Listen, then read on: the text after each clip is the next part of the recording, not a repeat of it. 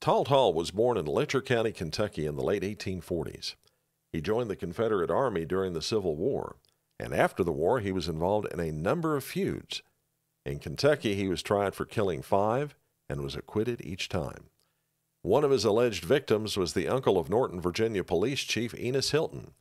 On a visit to Norton, Hall and Hilton had an encounter which left Hilton dead. Hall fled to Memphis, but he was tracked down by Dr. Marshall Benton Taylor, who brought him back to Wise to face trial. Ironically, Doc Taylor was soon arrested for his part in the Pound Gap Massacre, which happened at what's today known as the Killing Rock. When Taylor tried to shake Hall's hand through the bars, Talt Hall refused, saying he'd have nothing to do with a man who'd kill women and children. Hall was hanged at the Wise Courthouse on September 2, 1892. We have the full story of Talt Hall on this week's podcast episode at storiesofappalachia.com.